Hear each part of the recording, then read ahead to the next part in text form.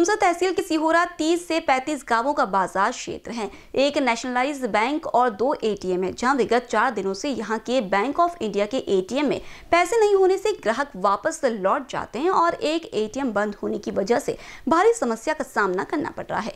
यहाँ के ग्राहकों ने जल्द से जल्द कैश की किल्लत को दूर करने की मांग की है।